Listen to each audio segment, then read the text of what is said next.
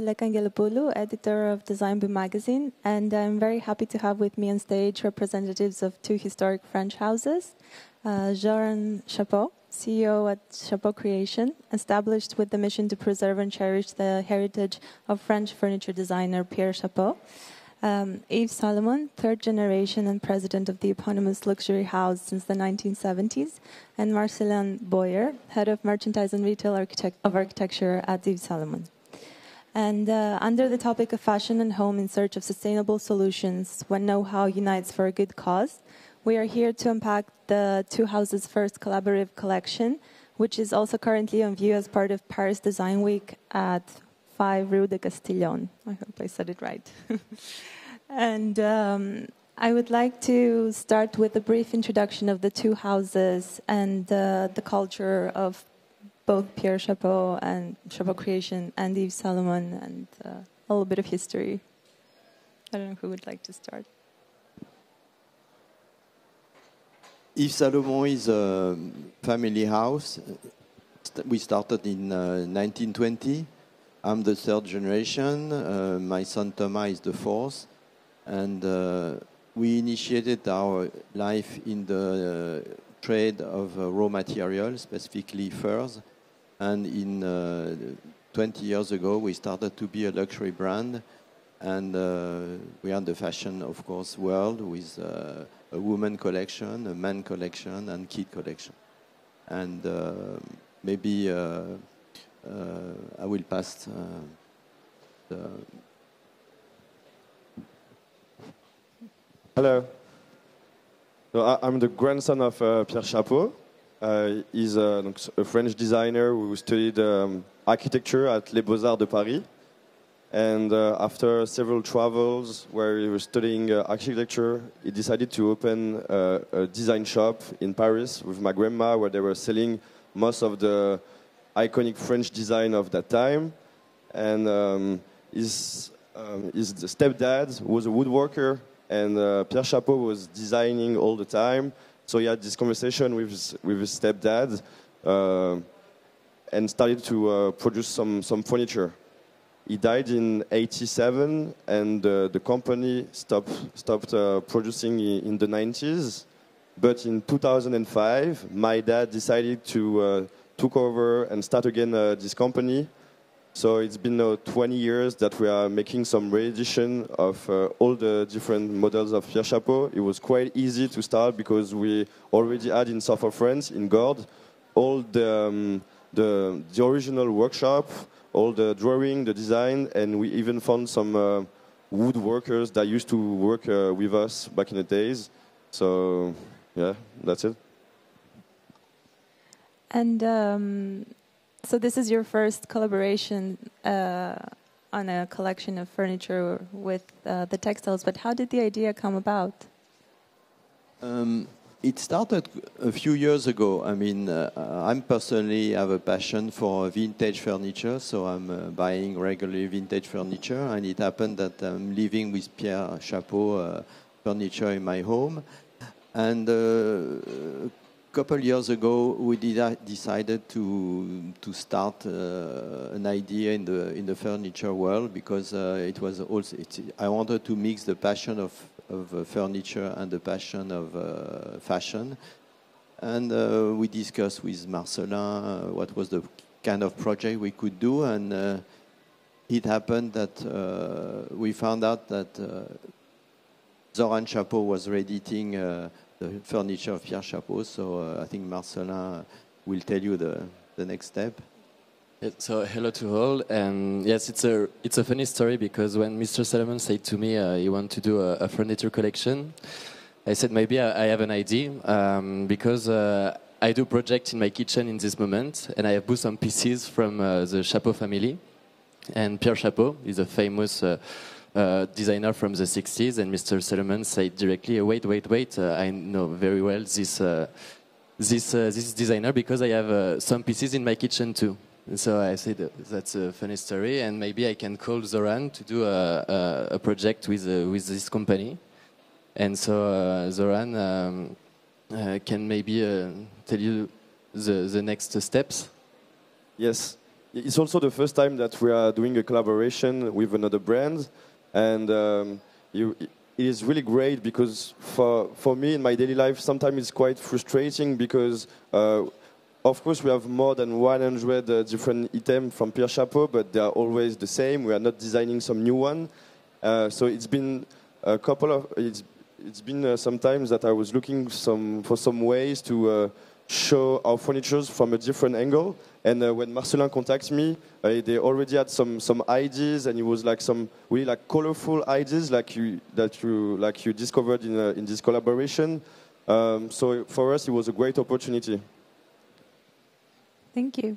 And uh, I know you presented the collection for the first time earlier this year in Milan, but um, how long ago did you first start working on it? How was the um, the process? Um, it was a, a, very long process because um, the collaboration was born uh, one year before the, the launch in Milan at uh, at uh, Salon del Mobile at Dimore Studio uh, with many steps between the, the, team of, uh, of uh, the Chapo uh, family and uh, our craftsman team too. Um, and maybe want to, to add something, Zoran, for, for the, your part of the. Um, I mean, for, for us, it was quite easy because we did like we always do, but we were always uh, in, in contact with the Yves Salomon team that have they, they they uh, went through a lot of different uh, constraints, technical constraints. So it was um, a long process and a lot of discussion to uh, to make this piece living.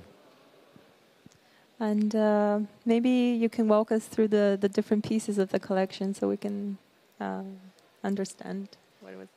So in the collection we have 10 pieces, so um, three chairs uh, in, with the same patterns but different colors. So this is the iconic chairs from the, the Chapo family from Chapo Creation. Um, we have also, um, so this is the second color of the chairs. Um, and we have the armchair, uh, just one armchair with unique color. Um, and this is exactly the same uh, know-how for uh, this armchair and the, the, the, the chairs because uh, uh, you have um, different. So, oh, sorry. sorry. You have two um, two lamp, two and uh, one day bed.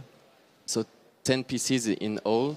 The two lamp is in different size and different colors, but same patterns. And the day bed is unique, uh, and uh, we produce just five day bed in the world.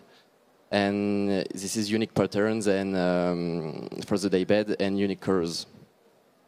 Yeah, this this daybed was designed as the masterpiece of the collaboration, and uh, it's it's cool because it's also the first ever uh, Pierre Chapo furniture.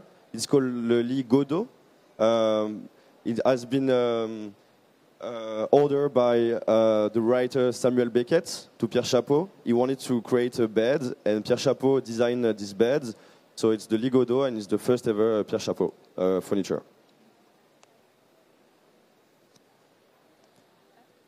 And sorry, yes, three stools in different size and uh, different colors, uh, but uh, with the same pattern. I have to say, I have to say, the inspiration of this pattern is, is coming, of course, from the coffee table. The coffee table, which is iconic from uh, Pierre Chapo.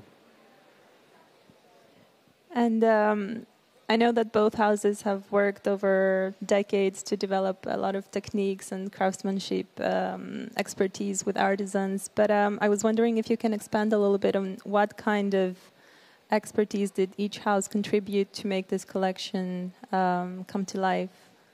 So the, the special techniques that you employed and. Uh um, I think the, the most difficult was um, the the chair. Um, the, the original chair is uh, with, um, uh, with leather, which is like really thick, and then uh, the leather is stretched, stretched on, uh, on the chair. But for this collaboration, we decided to use lamb, which is a, a skin which is much more thin. So uh, we, we, we, we had to find the, the way to um, work with the softness of the lamb, but uh, to have something um, solid to hold a chair. I have to say this is, was a huge challenge because uh, a luxury brand we are uh, used to uh, do soft and uh, fluffy, light, uh, shiny garments, and this is absolutely the contrary. It has to be uh, solid, uh, durable, uh, it has to be strong, and we have to to face this issue with our workshop. I have to say that uh, we have a culture of creation in our workshop, so because a fashion line has to be done twice a year at minimum. So our team is very young; it's about 30 years old in average, and uh, people were super excited to learn new techniques and to find uh, to fight this challenge and uh, to find a way out to all the problems that we had, and we found quite creative solutions. Uh, I have to say we are using the intarsia technique. The intarsia technique is a classical uh, technique in the uh, in the fashion industry, especially fur and shearling. And uh, as uh, Zoran said, we had some issue because uh, it has to be uh, strong and solid.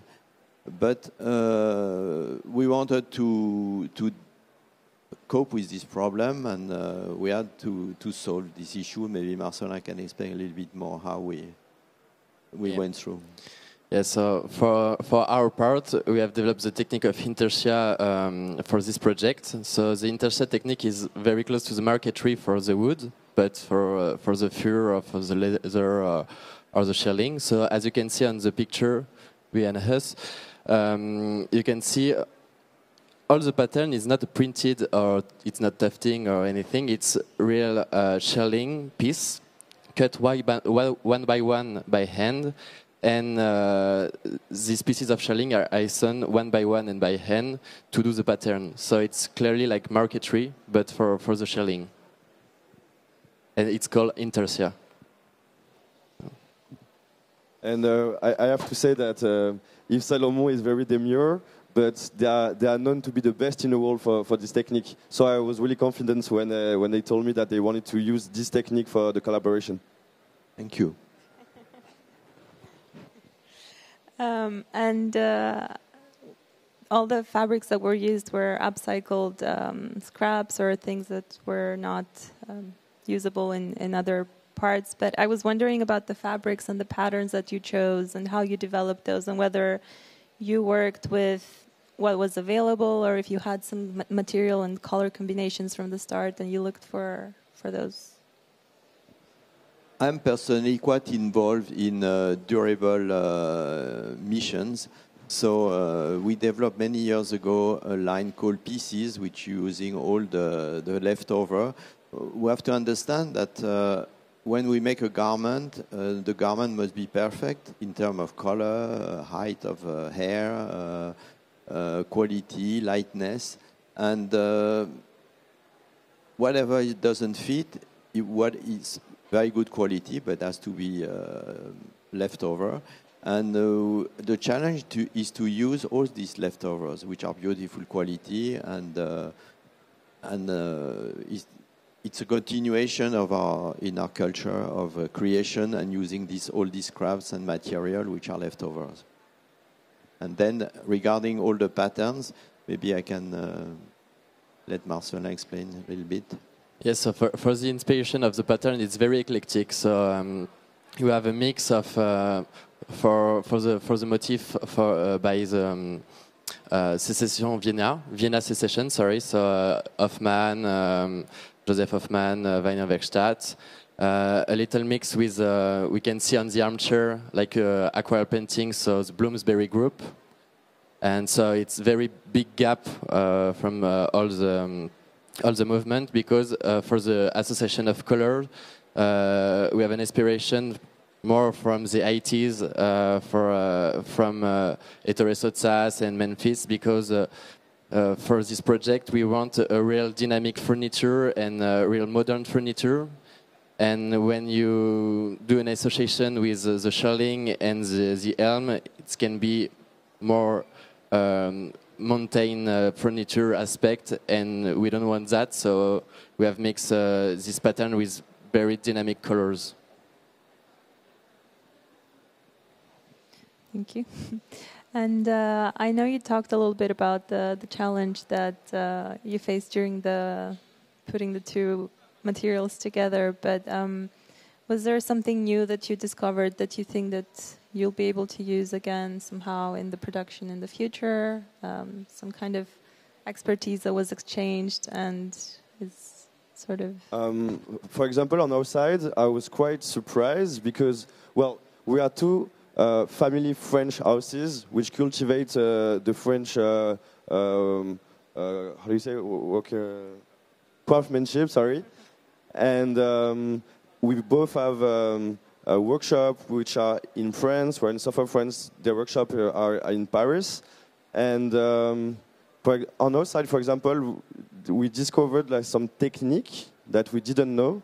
So for the chairs, we like exactly this. The the ropes, they um, the Yves Laurent team found some some new ropes which are like way more beautiful. Uh, same for some other little things, and uh, thanks to that, we will use uh, these new materials uh, in the in the future. And uh, in our part, um, a new technique was born because, um, as I said, Mr. Salomon and, and Zoran, um, the, the shearling is very soft material, and you can't use uh, directly the shearling to do a, a seat. It's impossible because it's so soft.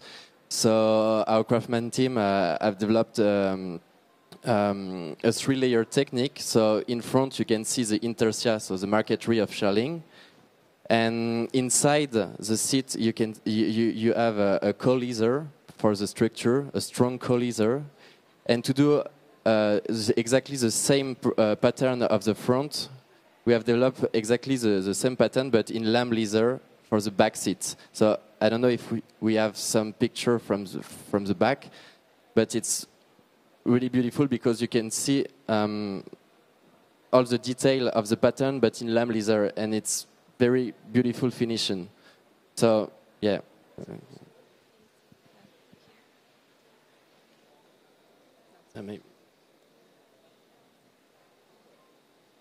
Yes, on the right, you can see uh, the, the back of the armchair, and all is in lamb leather, and it's uh, so it's two intarsia. It's not the, the back of the shearling. You have inside a co-leather, so it's a new technique from the from the the Yves Saint Laurent uh, warehouse uh, for, for to do furniture with Intarsia. Yeah, just uh, to, to resume, we had to find a way to mix uh, softness and uh, delicate with uh, strongness, and that, that was the biggest challenge. And um, as, as I said before, but we are not used to do furniture, so we had to learn all this, and uh, that took about one year to learn the techniques, to develop them, and to exchange uh, daily with uh, Zoran Chapo to see if it worked or not. And uh, the final result uh, gave us uh, a really a great uh, satisfaction and the, the will to, to continue to develop in that direction. I think it's been very successful. And actually, my next question was whether this collaboration was a one off experiment or if you're thinking of continuing somehow into each other's worlds or into the world of furniture for Yves Salomon and the world of fabrics for Chapo Creation. Um, for, for this collection, we decided to, um, to do a, a, li a, limited edition. Uh, so it's a one shot, but we want uh, the collection to uh, continue, to live. So we are going to uh, to show it uh, in New York at the Magen H Gallery uh, in November, and um, and on my side, um, as I said before, it's really exciting to um, to see uh, our furniture from a different angle. So in the future, yes, I think I want that to um, um, do some other collaboration um, on this way here on our side, I think there is a, a natural bridge between fashion and furniture. So uh, this is maybe a new trend in, uh, and I would say now uh, most uh, luxury brands are developing their uh, home lines, and uh, Yves Salomon, of course, will do the same because there is one word to start: is passion, and my own passion, and the passion of the team to to do a new development. And we feel that this bridge is quite exciting for the team, and uh, we have great possibilities. And of course, for sure, we'll continue. And uh, with Zoran, possibly uh, with new projects and maybe other projects and other other collaborations. And uh, it's for sure a beginning of a of a long story, and uh, we are extremely excited about this uh, this new development. Uh, Marcellin also as head of retail architecture. Um, do you find this mix of interiors and fashion somehow more? Um, maybe I don't know. For the moment, uh, we don't uh, put some Chapo pieces on uh, our our uh, boutique, but uh, we love uh, vintage pieces. We we buy many pieces from for our our boutique, like the next boutique with vintage Gio Ponti furniture, and I don't know, but maybe it can be really interesting, and we love the the, the Chapo uh, work. So maybe yeah. Um, and I also wanted to talk about sustainability because it's also part of the of the topic. And I wanted to ask how this idea fits into your creative process for, for both houses and how you envision the future in terms of whether it's in fashion or interiors when it comes to designing sustainably, what that means to each of you. Um, because it's a very broad term, but somehow it's also very urgent to to come up with solutions around it.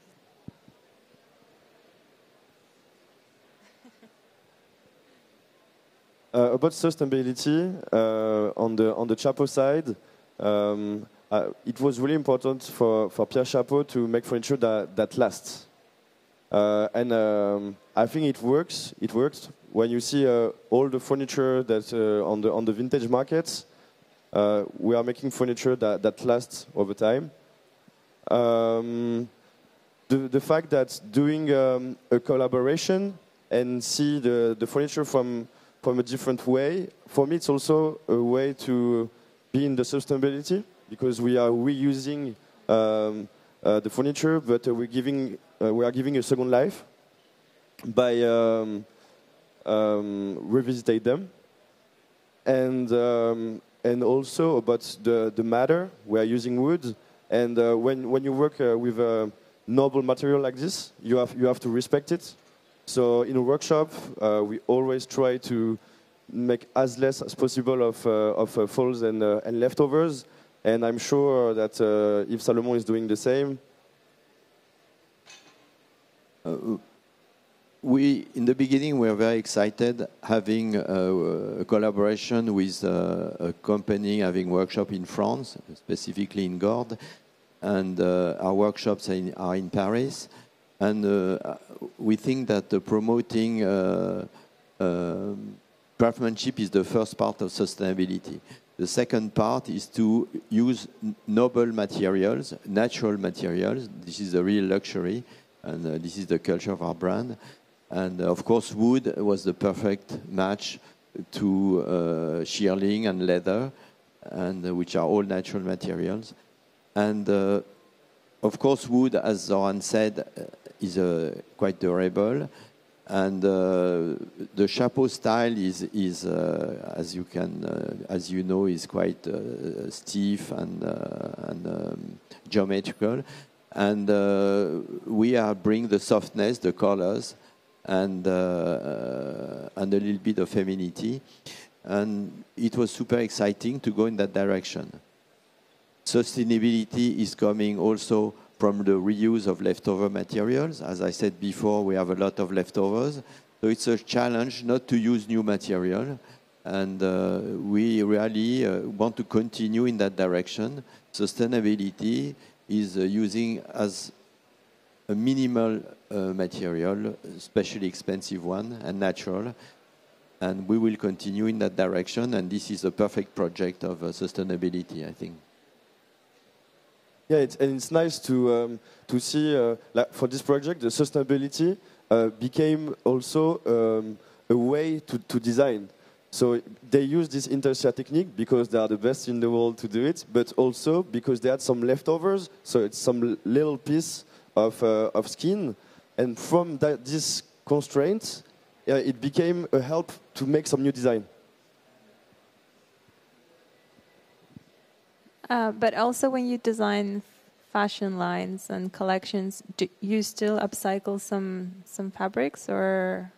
Well, it is our culture uh, to do upcycling. We, we launched uh, maybe 10 years ago a line called Pieces, which is uh, based on the same uh, philosophy of reusing material and scraps and leftovers. And uh, in our production, of course, we, we try to be uh, super conscious using net um, animals, and so we, we want to be extremely conscious about using and reusing material we have to know, I mean, uh, because uh, it's not very well known, that uh, of course shearling and fur uh, are the only uh, material in the fashion industry which are reusable. It means that when you do a coat, you can recut it, you can reuse it. So uh, fur and shearling are by nature sustainable materials. And we develop also in our brand the possibility in our workshops to, to bring coats uh, or and to turn them into new coats or new or to into uh, um, uh, furniture pieces like uh, cushions or, or straws or I mean these materials give a huge possibility and long life and this is I think the base of sustainability. Um, and that Chapo Creation, besides using wood, which is a very long-lasting material, do you have also some um, principles like maybe only designing by order or not mass producing things? And somehow like this also playing into the idea of, of sustainably like producing things that um, it's really important for us to um, stay in France. So we are trying to uh, work with um, some local um, local matter like the the oak is, is coming from, from France. Uh, we have a workshop uh, in France and we want to, to, to stay like that. And of course, we want to, to develop, but um, um, we, yes, we are going to stay uh, ma made to order furniture and uh, everything is made by hand. For example, we are not uh, using the, the new wood machine that are almost making a furniture li like this. Um, we are using the old machine with the old techniques, and uh, we also want to uh, transmit this, um, um, these techniques to some new people. We also have uh, know, a, a, young team, and uh, there was a lot of, um, of uh, French woodworkers, young French woodworkers that, that are coming up, and, and it's, a, it's a chance to, to, to work with them and to to give her this heritage, and uh, we want, of course, to um, make it uh, last for, for a long time. Thank you. Um, yeah, uh, maybe if there's nothing else to add, we can open the, the floor to questions if there's something from the audience.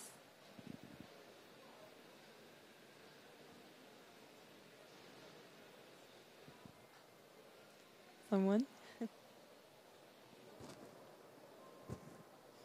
I may add something. Uh, what was super exciting in this project is we found out that we have exactly, being in two different worlds, but we have exactly the same culture, the culture of uh, craftsmanship and, and, the, craft, the culture of uh, family house. And the idea of the real luxury is to uh, produce uh, small quantities, which are uh, of exceptional pieces.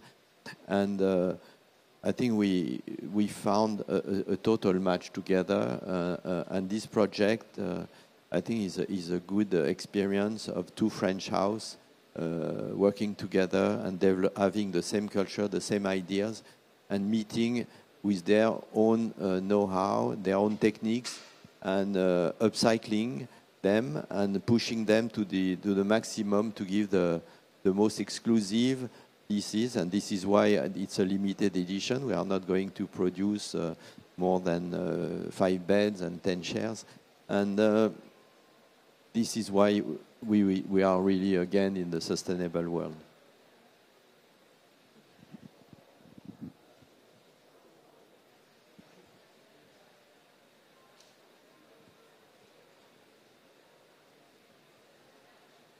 Ok, oui. Euh, Yves et Zoran, est-ce que vous pourriez imaginer de Eve. Okay. Can you imagine to sort of turn the thing around and have your expertise of Chapo and your woodworking expertise helping Yves Salomon to create their own furniture line? Meaning now it's Chapo and you have the covers by Yves Salomon. Could you imagine to turn it around and have sort of your expertise and something that design that originates from Yves Salomon?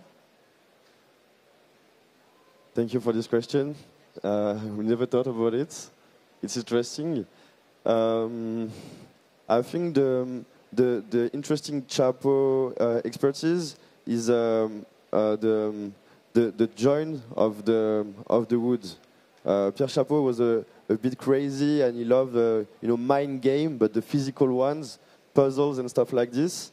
And um, of course, if if Salomon and uh, Marcellin, I mean like all the team wants to um, create their own furniture, maybe we could think something around that using. Uh, using the technique of Chapo, which are actually uh, most of them that are pat- patent. So, so there is this joint for the chairs that there is in this collaboration, but uh, there is also, uh, you know, the, the stools with uh, three legs that are that are crossed, and uh, it's it's also an expertise that we have. So we could imagine uh, some pieces that are using uh, these these techniques. Yes. I have a scoop. I mean, uh, Zoran is going to live in Paris, and Marcellin and myself we move to Gordes. that would be fun. You're welcome. But uh, actually, it's interesting, like to imagine maybe applying the the techniques of I don't know the wood joinery in some kind of fabric rendition. Could be something to explore. But for sure, I mean, we spent one year learning uh, new techniques of furniture, and uh, of course, um, as Zoran said, and what we really like in uh, in Chapo is the joint without screws and uh, and, uh, and no no metal in the in the wood, and uh, and it's it's quite uh, uh, exciting to to go into that direction because we are using the same techniques in the in the fashion world, and of course, uh, I think it's the first step, and uh, learning these techniques uh, and uh, learning what uh, Zoran uh, taught us and what we learned from the furniture. Of course, we can reuse it to make new furniture on one side, and on the other side also we use it for fashion design in the future. And this is why a collaboration is is is very is, is very rich and uh, and helpful to the development of uh, of uh, small companies like ours. Actually, Marcellin is designing some furniture already for for Yves Salomon. He, he designs uh, some. Well, I can let you talk about it. Yeah, yeah but ju- just for the architecture, so it's uh, not furniture uh, to sell, but uh, yeah, yeah, we do all the all our boutique uh, are produced with uh, our design of furniture and uh, design of uh, of all the boutique uh, uh, are designed in our office. So yes, uh, but uh, uh, I can't wait to to, to design uh, the, the the furniture for for Yves Salomon. Uh, and um, not just for the boutique, but uh, for uh, for a, a new uh, a new way. I hope. Is it also a scoop? A lot of scoops today. Maybe. Thank you for the question. Yeah, it was, it was very interesting. Any more questions?